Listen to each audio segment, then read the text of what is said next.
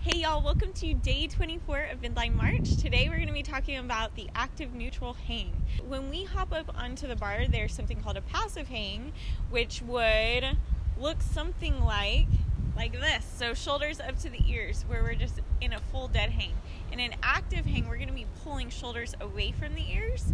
In the active neutral hang, what we also want to be doing is finding our hollow bracing. So we're not just hanging and forgetting about the rest of our body. We are keeping our shoulders and our scaps and our lats super active as we pull down on the bar and also push down through our palm.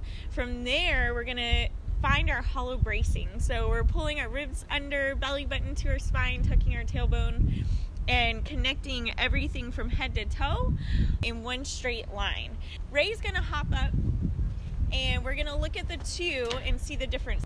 This would be passive hang, so shoulders to the ears. Now, when we go to pull into our active neutral, watch the difference. Now, shoulders are pulled away from the ears, scaps and lats are active, core is nice and tight, belly button pulls in, glutes are tight, we're tucking our tailbone, but you also notice that his hip is staying open while he is connected from head to toe in one awesome straight line. A lot of times what can happen is we end up piking at the hip when we're trying really hard to get into our hollow position. The intention's there, but that's not what we're going for. We want to make sure that we keep the hip open and keep a nice straight line from head to toe.